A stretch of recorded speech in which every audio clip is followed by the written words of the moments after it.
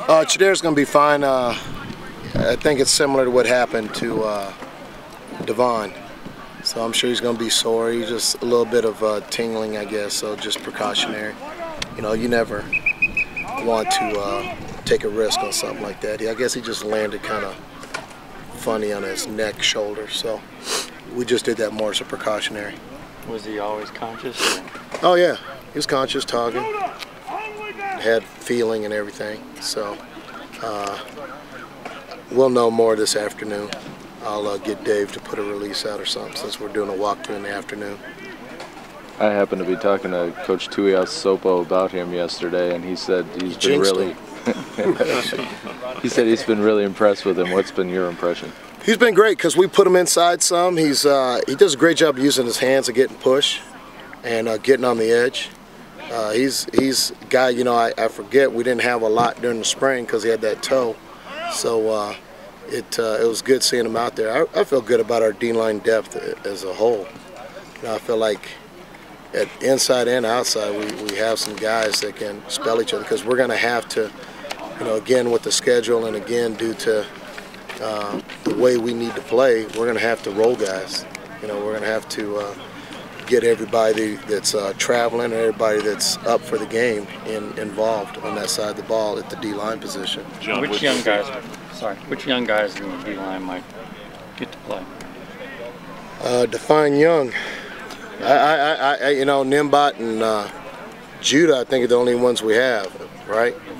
And I, so I would uh, expect both of them to be involved some.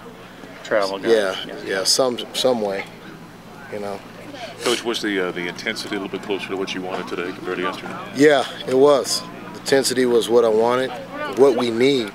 Um, and I, I told Mike Bohn this in the interview, and, my guys can understand. I'm not a want, I'm not a, a need guy or want guy. I'm a need guy, and we need to practice at a certain level. We're not good enough to just roll our helmets out there. That's what we have to continue to understand that we can't let the standard dip because we're sore, tired, or whatever. We, we have to go at a certain pace and a certain tempo, and, and that's on us too as coaches.